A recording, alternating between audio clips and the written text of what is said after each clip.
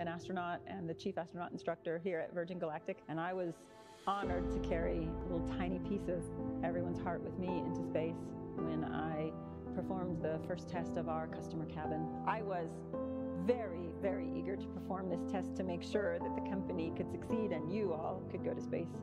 And so I tightened up my straps right before release.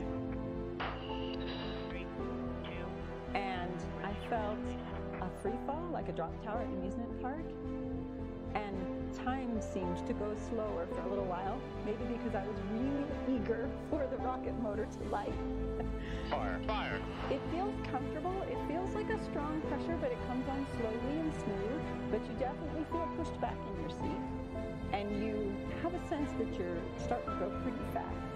Then the pilots started to turn us towards space.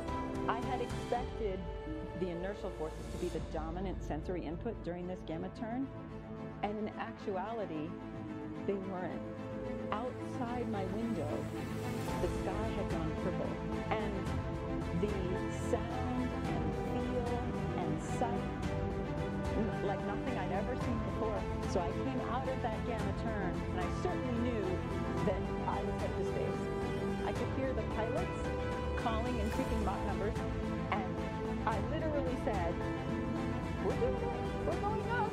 95, 20 knots. Six center, Darcius Newbold, Android 17, G dot. At rocket motor cutoff, there was no lurch. I didn't lurch forward in my straps, and it's a common misnomer. There's no feeling of suddenly being weightless. Your arms don't suddenly float up.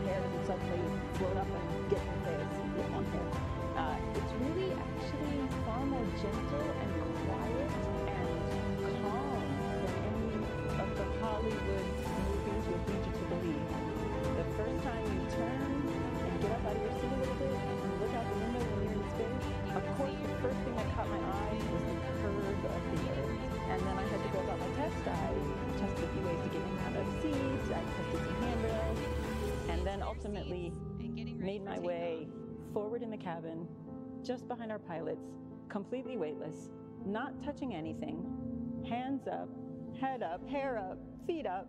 And that moment around apogee is just something. So I was coasting to a stop and able to look out at the earth. And it feels timeless and it soaks into your soul. The sky, space, is just this deep, deep, endless black. And then the most compelling thing is the earth below you. The vista below you is is unreal. Beneath me was just this bright, bright, high definition earth.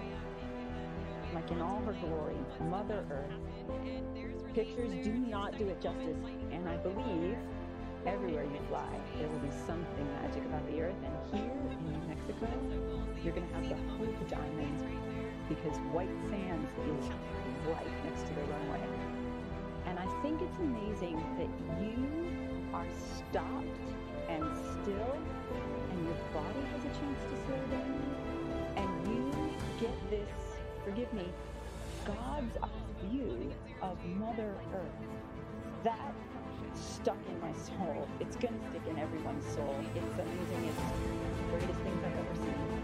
I cannot wait for Richard and everyone to experience this and let it soak in and let it do good.